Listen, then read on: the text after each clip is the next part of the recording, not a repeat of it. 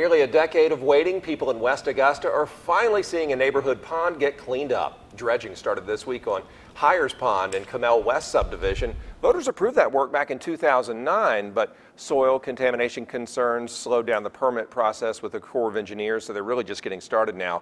The pond is in the Raes Creek Basin, so the dredging will hopefully help with flood control and make it look a lot better. The total cost, a little more than $4 million.